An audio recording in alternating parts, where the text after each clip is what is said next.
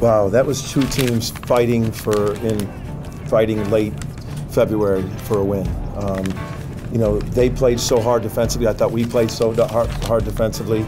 Um, just a great college basketball game, and um, very fortunate to be on the winning side of it. But just proud of our guys to gut it out. I thought Northern Iowa's atmosphere was awesome here. I thought their fans were into it, and uh, both teams were were not relenting any inch.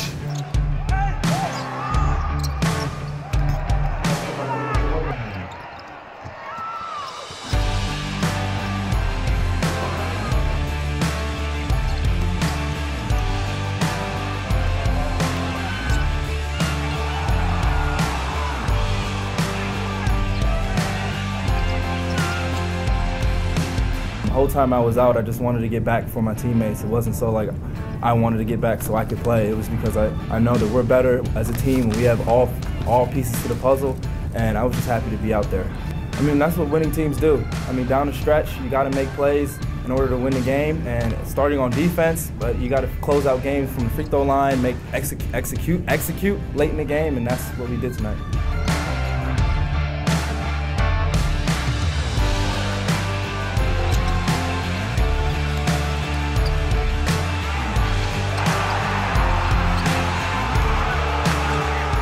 We've talked uh, so many times. There's a million ways to win a game. You got to find ways to win.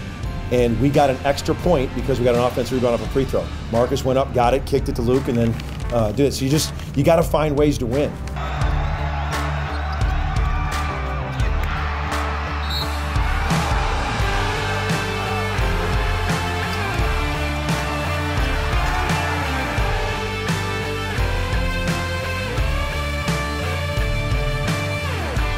Find ways, you fight adversity.